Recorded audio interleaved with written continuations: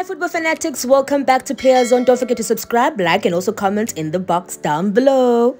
Bafana Bafana coach Hugo Broos held a press conference whereby the Belgian tactician mentioned quite a lot of problems within the South African football sphere, which he has been criticized, attacked, or rather bashed for. He has mentioned that South Africa does not have quality players. The last World Cup that we played was a present that was handed over to us on a silver platter, and the only top player in South Africa is Percy Tau.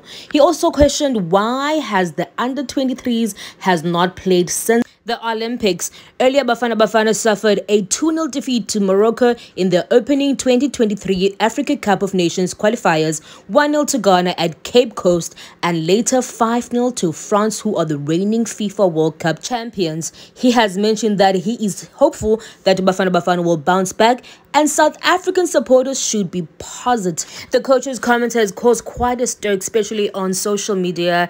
It has caused an uproar. I want you to tell me what do you think about this entire situation. Please comment down below and tell me about what do you think about the South African current squad and what do you think about our South African football players. SAFA President Danny Jordan has come across as being unpleased about this whole situation and has said to sit down with the coach and have a chat with him.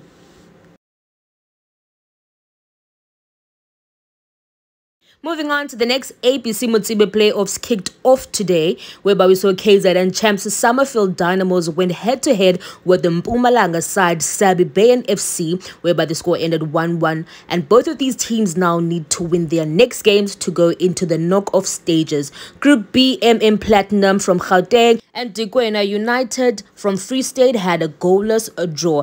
The third and last game was between Real Madrid, the Northern Cape champs, and Magesi FC, the Limpopo Giants, whereby Magesi walked away with 3 to 1. So it has been quite a lot of action. A lot is going on within the South African football. Um, there might be a break when it comes to PSL, but there are still playoffs going on. We know that um, tomorrow also Swallows is going head to head with University of Pretoria. Ningalibeke intandane zethu zasekapa zoduma izizwe United will be playing up against Dikwena United in Group B.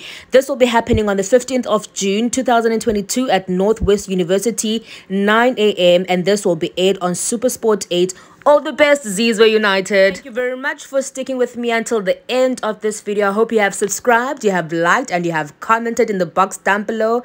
And I will see you in my next video. Bye.